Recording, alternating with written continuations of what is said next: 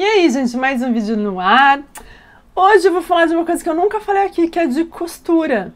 Mas por que, que eu nunca falei aqui? Porque eu não sabia costurar, aliás, eu não sei ainda, né? Mas eu precisei de uma máquina de costura para fazer um negocinho aqui em casa e eu comprei esta belezinha aqui, ó. Esta máquina que não é uma máquina de brinquedo, apesar de parecer, e eu vou contar tudo sobre ela. Então, se você tá curioso, se você me viu usando lá no Instagram e quer saber como funciona, já dá um joinha, se inscreva aqui no canal e vamos pro vídeo. Bom, gente, pois é, parece que eu tô fazendo resenha de brinquedo de criança, mas não, isso daqui é de verdade, isso aqui funciona, isso aqui tá me ajudando muito. Aliás, já me ajudou no que eu mais precisava.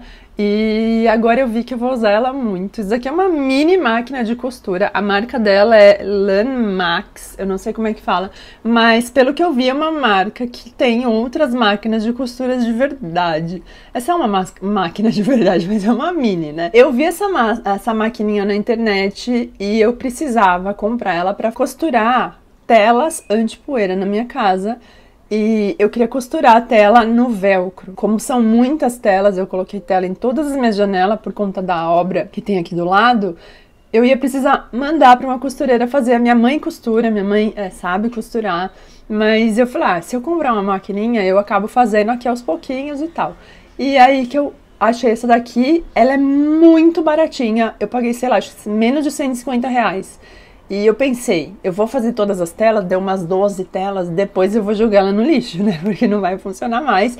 E comprando a máquina, eu vou pagar muito menos do que eu mandar costurar em algum lugar. Comprei a maquininha, costurei todas as minhas telas e ela foi fantástica para o que ela se propõe. E eu, a tela é uma tela de, de parece tela de mosquito, né? Tela de plástico com o velcro com adesivo, aquele que tem cola. E essa agulhinha aqui funciona muito bem, ela desenroscava por conta da cola, então passando olhinho para tirar, mas foi sensacional. E agora eu uso ela para fazer várias coisinhas, como por exemplo esta blusa, que ficou uma graça. E na verdade, essa blusa, ela é uma saia. Era. é, essa saia aqui, ela é da Patrícia Mota, que é uma saia toda de couro cortado a laser. Então, uma saia bem pesada, bem compridona. E essa saia, ela tinha uma barra imensa. Então, o que, que eu fiz? Quando eu comprei essa saia e ela ficou muito grande, ela, você vê que é, couro, né? Então, o couro ele não vai ter o acabamento, ele é o corte reto e tal. E aí, eu acabei é, descosturando essa parte para usar a saia já. E depois eu vi que ela ficou curta demais. Então eu tive que costurar de volta o pedaço que eu tinha descosturado e cortar. Então eu cortei todo esse pedaço aqui da blusa fora. Falei, o que, que eu vou usar com esse pedaço de couro? Resolvi fazer uma blusa, então a gente já usa a nosso, é, nossa criatividade para fazer coisas diferentes. Eu trouxe essa peça e eu vesti essa blusa para falar que até o couro, né, um couro muito molinho, lógico, mas até o couro ela costurou. Então essa maquininha, que parece muito frágil, costurou uma saia enorme de couro e essa blusa aqui, que eu peguei essa parte, fiz a manga, uma blusa que eu já tinha, e acabei costurando é, a manga de couro nessa, na, na alça dela, e eu amei o resultado, então aqui é mais para vocês é, entenderem que ela funciona com tecidos normais, com tela e com couro macio. Então eu vou mostrar a máquina e eu vou te ensinar a montar essa maquininha. Ela já vem montada, mas se você for como eu, que vai ser ansiosa, vai tirar tudo, depois sei lá como que enfia essa linha, eu vou te mostrar como que enfia essa linha, tá? Então essa daqui é a maquininha. Ela funciona a pilha, deixa eu ver quantas pilhas, porque eu nunca usei pilha. Então ela funciona com quatro pilhas, é? Uma, duas, três, quatro, tá aqui, ó. Ela é bivolt ela pilha AA. Então tá aqui os detalhes, ela tem um ano de garantia, pelo que eu vi, tem o selo do Imetro e aparentemente, né, tinha tudo para ser um brinquedo. Se eu tivesse uma filha é, e quisesse aprender a costurar, com certeza daria uma maquininha dessa para ela. Então, como que funciona essa máquina? Ela tem alguns botões aqui e junto ela vem, né, com a fonte, né, que você vai ligar ela na tomada, essa fontezinha aqui, e ela vem um mini pedal, gente. Sim, é uma máquina de pedal, que você vai apertar aqui e a máquina vai ligar. Se você não quiser usar nem o pedal e nem a, a fonte, você vai colocar a pilha e vai usar esse botão aqui, on-off, para ligar e desligar a máquina. Você pode ficar tanto apertando para ela ir costurando, como você pode apertar deixar ela funcionando sempre. Então, como que, que ela tem aqui? Ó? Ela tem essa rodinha aqui, ó, com uma pequena dentro. Deixa eu ver aqui. Aqui eu vou girar. Ela vem assim, ó. Essa pecinha, ops. Aqui essa pecinha vem aqui dentro. E o que, que é essa pecinha? A gente já vai mostrar que é pra é, enrolar a linha aqui.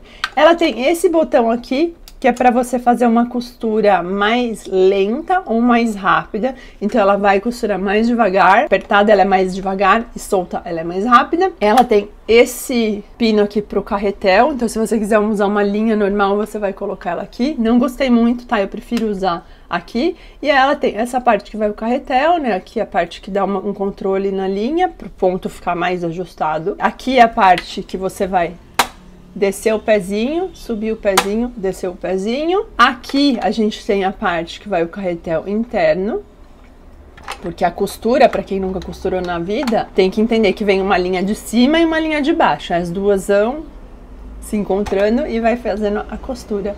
E aqui ela tem esse pininho aqui, ó, tem um desenho de uma tesourinha para você cortar a linha. Então você sobrou a linha, passa ali, corta a linha, ou seja, olha que incrível.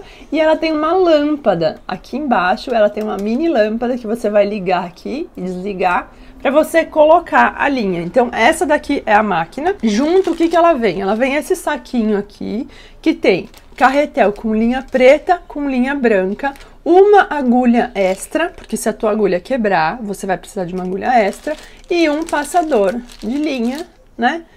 Esse passador aqui para você passar a linha dentro da agulha, dentro dos buraquinhos todos aqui. Então, essa é a máquina. Aqui, como eu disse, você vai girar para fazer, é, fazer aquela costura manual, né, para frente e para trás. E essa bolinha aqui, quando você põe ele para fora e gira, ele fica fixo, você não aperta mais. E você vai encher o carretel. O que, que é encher o carretel? Você vai pegar um carretel desse com a linha da cor que você quer, vem preta e branca, mas se você quiser uma linha azul, uma linha vermelha, uma linha rosa, você vai ter que encher o carretel para ter um carretel aqui embaixo. Então você pode até usar a linha normal aqui em cima, só que aqui embaixo você vai ter que ter um desse daqui. Então para ter um desse você vai colocar o carretel aqui, vai tirar esse carretel de baixo, então tem que tirar o de baixo, vai colocar a linha aqui em cima e vai apertar para ligar. E quando isso aqui vai começar a rodar e você vai controlando com o dedo até encher o carretel. Por que controlando com o dedo? Porque senão a linha vai ficar toda em, aqui num canto. Então você tem que ir controlando a linha para encher o carretel e você ter o carretel para usar. Então agora eu vou tentar mostrar como que a gente monta a linha se por acaso você perdeu, porque quando ela vem montada, eu vou deixar link para quem quiser comprar a máquina aqui na descrição do vídeo, tá? Quando você compra, ela vem já montada, é só você pôr, veio até um paninho junto, gente, muito bonitinho. Você põe o paninho e começa a costurar. Só apertando aqui, ou apertando o, o, o, pedal, ela começa a costurar. Mas quando você troca a linha, você tem que saber o lado que você vai colocar e tal. Vem o um manual de instrução bem facinho, que você entende, eles falam, coloca a linha com fio saindo para direita, com fio saindo para esquerda. Então, lendo o manual é muito fácil e você deve só prestar atenção como que tá a linha, para que lado que ela tá, como que ela tá enfiada aqui, que lado que ela enfia na agulha para você não se perder, porque se você enfiar a linha contrário, não vai costurar, não vai dar certo. Antes de mostrar como passar a agulha, eu vou dar algumas diquinhas aqui. Ela é uma máquina leve, tá? Então, ideal é que você costure peças leves. Né? Se você colocar uma jaqueta, um blazer, você não vai costurar. Isso aqui é para costura simples, costuras retas, costuras é, só aquela costura padrão, né? Então ela não vai fazer zigue-zague, ela não vai fazer nenhum outro tipo de costura. É uma máquina para fazer coisas básicas. Então, você quer fazer uma barra, você quer fazer né, uma costura simples, você quer, enfim, isso tudo ela vai fazer, mesmo em tecidos mais grossos. O que ela não vai fazer são costuras especiais. E às vezes tem que tomar cuidado porque ela dá uma enroscada. Então, por exemplo, se um tecido ficou ali, entrou um fiozinho, não, pegou a agulha direito, ela vai enroscar. Então, você tem que ir com cuidado, né, porque o material ele é frágil e, e não quebrar. Eu já vi leitora que falou assim: ai, ah, não, comigo ela quebrou super rápido porque eu não tinha paciência. Se você não tiver paciência quando ela enroscar, qualquer máquina pode quebrar. Minha mãe tem máquina profissional e a minha mãe já quebrou a máquina dela um milhão de vezes, porque às vezes você tá na irritabilidade ali, você puxa o negócio, você pode quebrar. Então, cuidado. É um material, é, não vou dizer frágil, porque eu não, para fazer o que ela fez aqui, ela não é frágil Vamos ensinar aqui como que a gente vai colocar a, a linha do zero. Vou colocar a câmera aqui para a gente ver melhor. Bom, primeiro passo, então, a gente vai colocar a linha, o carretel aqui dentro. Esse carretel, ele tem que estar tá com a linha que ela vai sair para esse lado de cá, ó, do lado de fora. Então, tá aqui, ó, saindo aqui. Eu vou colocar, só encaixar aqui e vou deixar a linha aqui. Eu tenho uma parte rebaixadinha aqui. Eu vou deixar essa linha para fora. Deixei a linha para fora, vou recolocar a tampinha. Agora eu vou fazer o que? Deixo o pezinho baixado aqui, vou girar. Aqui, ó, se eu tô girando aqui, a agulha tá descendo e subindo. A agulha tem que estar tá aqui em cima para facilitar a colocação. Vou tirar aqui para vocês verem exatamente como que coloca do zero. Então, vou tirar tudo, tirei a agulha. Esse carretel aqui é a parte mais chata. Por quê? Porque para tirar esse pininho, você tem que fazer uma força que é bem chata. E ela sai tudo, ó. Então tome muito cuidado para tirar as pecinhas, porque ela voa longe mesmo, é um saco isso daqui, ó. Aí você vai colocar, então, coloca a, a molinha, que não tem onde prender. Vou pegar a linha aqui, o carretel. Vou pegar o pininho, apertei aqui na molinha e aperta aperta até ficar fixo. Então fica uma coisa assim, ó, tá fixo, a linha tá rodando aqui. Primeiro passo, a linha vai passar nessa argolinha aqui. Você tem que tomar cuidado de passar a linha em todas as argolinhas, tá? São várias aqui, porque senão a costura vai dar ruim. Então, passei, primeira argolinha. Segundo passo, isso daqui é um controlador da linha que você vai deixar a costura mais justa ou mais, você gira a rodinha para deixar ela mais um ponto mais justo ou um ponto mais solto. Eu vou deixar para prender daqui a pouco, porque antes disso a gente vai passar nesse outro, nessa outra argolinha aqui. Então pega a ponta da linha e vai passar aqui dentro. Segunda argolinha. Agora, cuidado aqui. Então a linha tá aqui, Agora sim, a linha a gente vai prender ela aqui no começo desse dessa pecinha, ó. Então aqui, isso aqui ela vai deixar a linha mais tensionada. Segunda argolinha, agora a gente vai passar nessa daqui. Vou passar. Sempre eu tô vindo de lá para cá. Passei. Essa parte é aquela que vai descer junto com a agulha.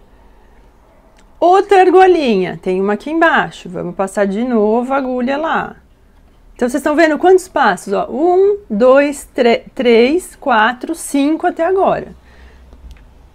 Outro passo. Outra argolinha aqui embaixo. Outro furinho aqui. Vamos facilitar aqui. E vou colocar o passador de agulha. Ele enfio aqui. Entro a agulha aqui. Puxo. A agulha já desceu. Então, a agulha, a linha já desceu. Então, a linha já passou de novo. Um, dois, três, quatro, cinco, seis furinhos. Agora a gente vai fa fazer a linha entrar na agulha. Esse passo é muito importante porque a linha tem que vir daqui para lá, tá? Então o que, que eu vou fazer? Eu vou colocar o passador de linha dentro da agulha, vou passar a linha aqui dentro dele e passei a linha. Então vocês estão vendo que a linha tá vindo desse lado para esse lado. Vou levantar meu pezinho aqui. Essa linha, ela vai no meio do pezinho, no meio do pezinho, lá para trás. O ideal é você deixar uns 10 centímetros de linha, pelo menos aqui para trás. Deixei lá. Essa linha de baixo do carretel ainda está solta. Quando a gente descer para costurar, ela vai pegar a linha de baixo e vai começar a costurar. Então agora eu vou ligar a energia elétrica, tá ligada na tomada. A gente vai ligar aqui. Primeiro botão. Segundo, eu vou ligar o pedal. Aqui vai o pedal, que é esse pedal aqui que eu vou usar para ligar a máquina, ó. Vou apertar aqui para vocês verem, ó. Tá vendo? Liguei, ó. Tô apertando, ela já tá funcionando aqui. Então, a gente vai fazer um teste. Vou colocar o tecido na pontinha da agulha. Vou descer essa parte aqui. Porque eu descendo, prestem atenção aqui no pezinho, ó. Desci, pezinho prendeu. Então, o tecido tá preso aqui no pezinho. Vou girar essa parte, essa, isso aqui não era para estar tá aqui, tá, gente? Ignorem. Vou girar essa parte aqui, vou girar para frente, para agulha descer e fazer dois pontinhos. Então, eu já fiz na mão dois pontinhos. Para você dar aquele acabamento, você pode erguer gira o tecido aqui e vai para frente de novo. Vou apertar agora aqui, ó. Ergui, voltei, eu já fiz um, um acabamento ali. Desci o pezinho. Então, ou eu uso o pedal, ou eu vou apertar aqui. Então, eu vou apertar porque eu vou fazer uma costura reta para vocês verem aqui. Apertei, tá aqui ó, na, no ponto mais lento, esse aqui apertado é o lento, vou apertar aqui,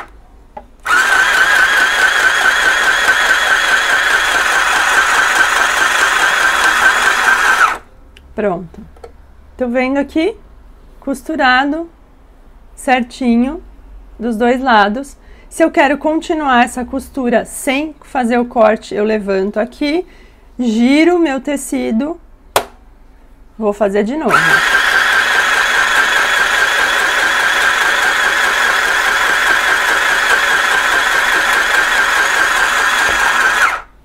Então, fiz a costura, acabei, eu vou levantar o pezinho, levantei e vou girar a agulha para a agulha sair do tecido. Saiu e eu vou puxar delicadamente. Quando eu puxo aqui para tirar, eu fico girando aqui, ó, para ele soltando a agulha de forma fácil. Soltei a linha, deixo uns 10 centímetros aqui. Aqui tá a área de corte, eu venho aqui com a minha linha, faço isso aqui, cortei. Linha tá para trás, pronta para outra costura. E aqui tá a costura que eu fiz num paninho de cozinha. Então, fiz aqui a costura, ó, virei para dentro. Aqui, ó, costurinha dos dois lados. E é isso. Então, vocês viram que ela manda muito bem. Quando a gente está fazendo a costura, você tem que tomar muito cuidado para ir controlando o tecido, porque principalmente se estiver usando essa parte, senão ela vai ficar toda fora, né, de, de controle. Então, sugiro muito que você use o pé para controlar e as duas mãos para ir deixando, né, a costura bem retinha Terminou a costura, dá aquela viradinha e volta um pontinho para você ter a costura é, com acabamento. Do jeito que tá aqui, ó, a gente não deu acabamento. Então, de repente, ela pode soltar depois. Então, o ideal é que você dê, volte dois pontinhos para trás para ela dar aquela segunda costurada e fazer o acabamento. Bom, então é isso, espero que vocês tenham gostado da minha mini máquina aqui, eu tô apaixonada por ela, já fiz muitas coisinhas, já costurei um monte de coisa que tava aqui em casa parada para levar pra costureira, sabe? Apertei saia, arrumei có de saia, apertei calça do marido, é, fiz barra em, em uns tecidinhos que estavam aí, eu fiz um monte de coisa já, e assim, eu tô muito apaixonada, principalmente porque ela é pequenininha, ela cabe em qualquer lugar, eu desmonto, tiro os fios dela, coloco no armário e acabou, levinha, fantástico. Se você tem alguém para presentear um filho, uma filha que quer começar né, a ensinar a costurar, eu acho que é um presente incrível que eu teria ficado muito feliz se eu tivesse ganhado uma dessa quando eu era pequena. Se inscreva aqui no canal, vai me seguir lá nas redes sociais. Beijo e até a próxima.